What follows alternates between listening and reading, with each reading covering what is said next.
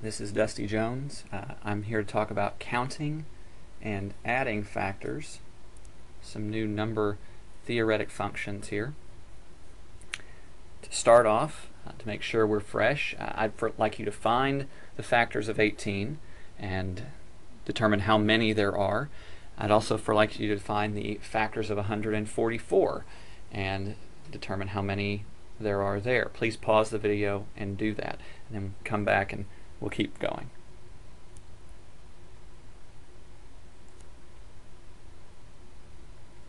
The factors of 18 are 1, 2, 3, 6, 9, and 18.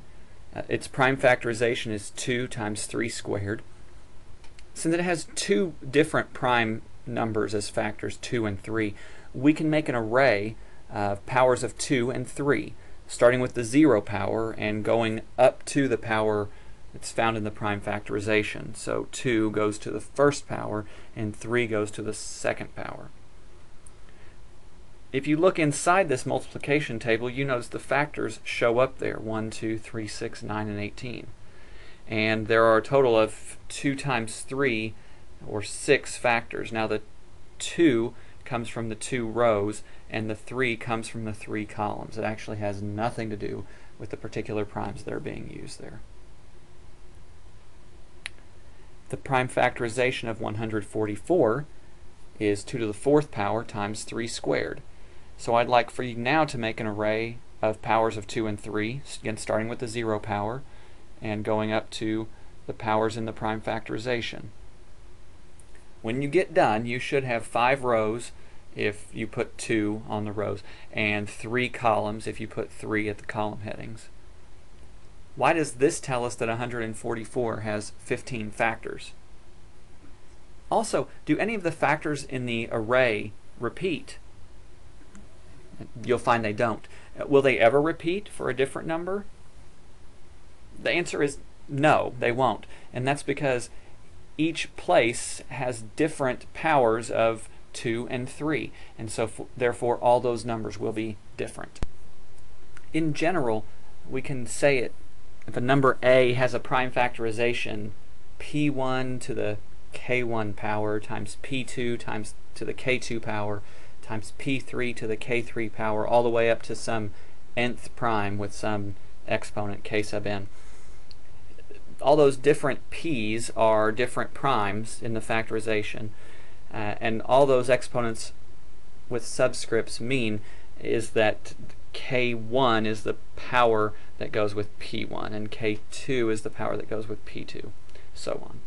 From this, if we made some sort of array uh, for P1, we would have K1 plus 1 rows. That's because we add in the zero power. And for the second prime, we would have K2 plus one of those rows. And if we went through all of the exponents, added one, and then multiplied all of that together, that would give us the total number of factors of the number a.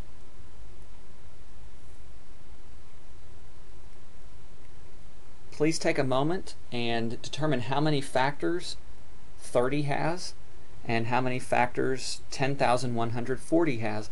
30 we could easily do by hand. 10,140 maybe not. Um, also, as a related question, what are the factors of 30?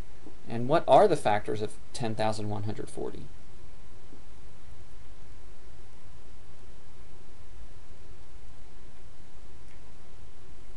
The tau function, tau of a, is the number of positive factors of a.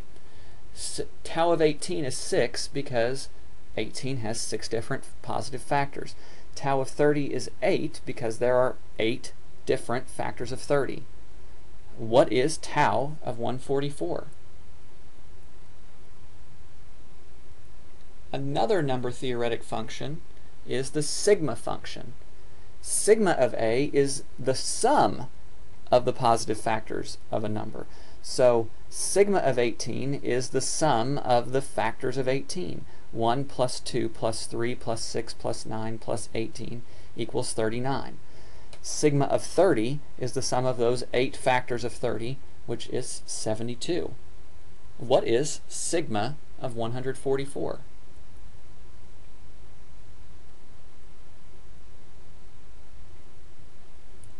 I'd like for you to make a table of values for tau and for sigma, uh, where A goes from 1 to 20. After you've made that table, I'd like for you to look at where A was a prime number and determine if you have a prime number, what is tau of that prime number? What is sigma of that prime number? Could you come up with a formula for that?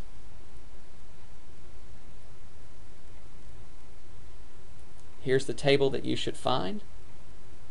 Hopefully you did this on your own before looking at this. You should have found that if p is a prime number, then tau of p is 2. There are two factors, 1 and p. Sigma of p is the sum of those, 1 plus p. What if the number's not prime? I'd like for you to find tau of a and sigma of a for a few special cases where it's a prime to a power. So 3 to the fourth power, 5 to the third power, 2 to the sixth power. Go ahead, pause the video now and, and work on that.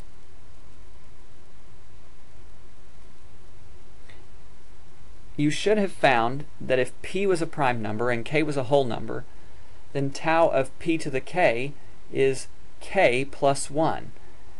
And sigma of p to the k is 1 plus p plus p squared plus p to the third all the way up to p to the k power. The factors of p to the k are all these different powers of p.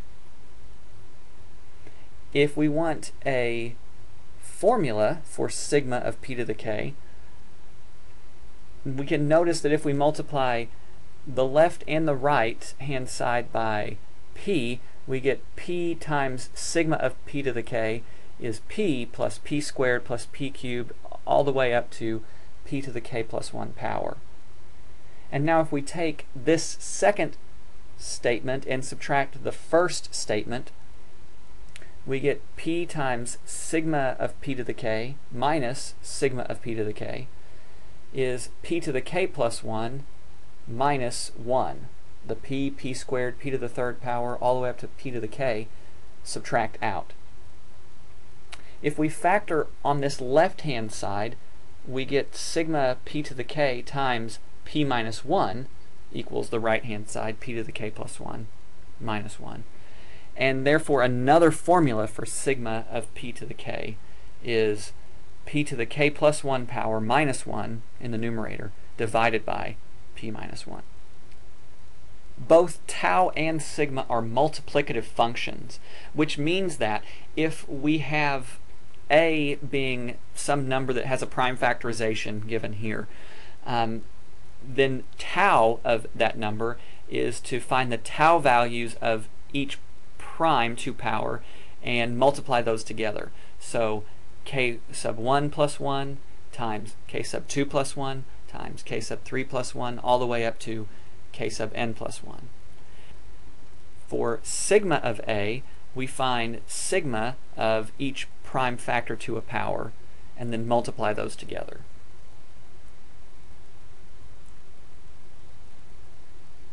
The proper divisors or proper factors of a number a are those divisors that are less than the number a. So what I'd like for you to do is prime, find the proper divisors of 15, of 19, and of 24. The proper divisors of 15 are the factors of 15 that are less than 15. So therefore, the proper divisors of 15 are 1, 3, and 5. Find those for 19 and 24. A new function, but a related to sigma, is sigma star of A.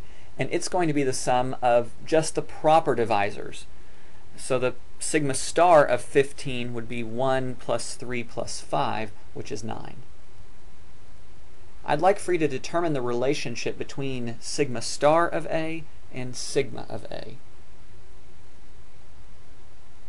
Perfect numbers are those numbers where the number itself is equal to the sum of the proper divisors.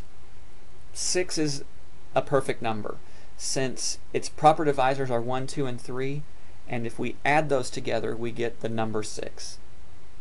In symbols, we would say A is perfect if and only if sigma star of A is equal to A. a number is deficient if the sum of the proper divisors is less than a number.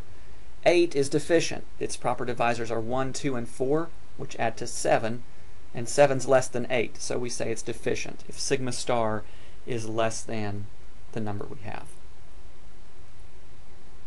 On the other hand, a number is abundant if the sum of proper divisors is greater than the number. So 24 is an abundant number. The sum of the proper divisors of 24 is 36, which is greater than 24.